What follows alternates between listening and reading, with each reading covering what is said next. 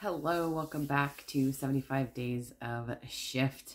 It is day 64 ish of 75. And today I want to take a little bit of a detour um, since I took yesterday off and talk about being present and being in the moment and really focusing on what it is that you're doing at that present moment and somewhat avoiding the multitasking. Um, yesterday, my family and I went to an outdoor outing, a place called Santa's Village in northern New Hampshire. And I realized uh, this morning when I woke up that I never did my video yesterday. I was allowing myself to be present all day yesterday. We left at about seven o'clock yesterday morning and we didn't get back until well after 9 p.m. So I allowed myself to be completely disconnected from technology, disconnected from doing, you know, a lot of the work and um, you know, kind of going, oh, well, I have to get this done. Oh, I got to go here. Oh, I got to go here. Oh, I got to go here.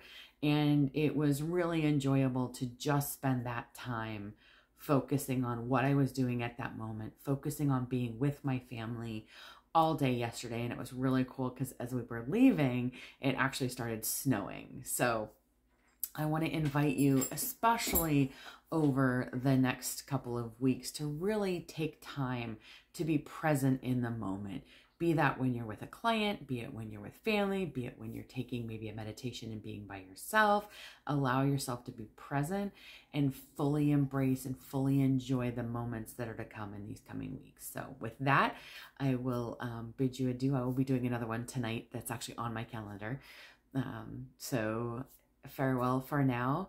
And Krista Crotty, Velocity Business Strategist, helping accelerate success. I wish you all the best. Take care.